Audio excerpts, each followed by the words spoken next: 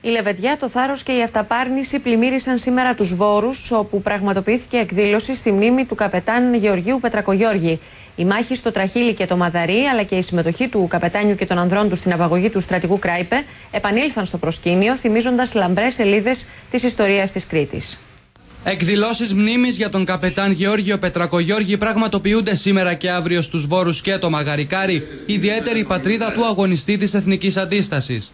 Θέλω να πιστεύω ότι αποτελεί αυτή η εκδήλωση μαζί με τις άλλες που θα ακολουθήσουν αύριο τον ελάχιστο φόρο τιμής. Σήμερα είναι πρώτη μέρα των εκδηλώσεων, των τιμητικών εκδηλώσεων για τον καπετάν Πετρακογιώργη.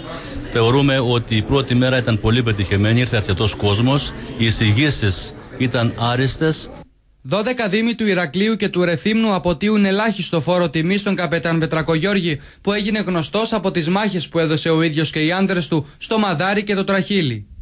Σαν Δήμος είχαμε χρέος να αναδείξουμε την ιστορία, την τοπική ιστορία και ειδικά τον, ε, τον Πετρακογιώρη, ο οποίος είναι από την περιοχή μας. Θεωρούμε ότι η πολιτεία έχει, είχε χρέος και η τοπική αυτοδιοίκηση να κάνει αυτή την προσπάθεια πολύ νωρίτερα.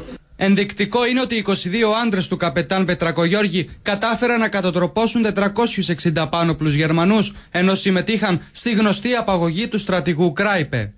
Είναι μαζί μας και άτομα τα οποία ε, ήταν στην ομάδα του Πετρακογιώργη, επιζώντες πλέον, οι οποίοι θα τιμήσουν την, ε, την, τις, και τις δύο μέρες εκδηλώσεις μας. Είμαι σίγουρος ότι αυτές οι εκδηλώσεις συμβάλλουν ουσιαστικά στο να αναδειχθεί η καλή πλευρά της Κρήτης, στο να αναδειχθεί η ανδρεία της κριτικής ψυχής και κυρίως στο να περάσουν μηνύματα στις επόμενες γενιές. Ήταν φόρος τιμής για έναν άνθρωπο που πρόσφερε τη ζωή του ε, τη ζωή του και το, για αυτό τον αγώνα κατά των Γερμανών.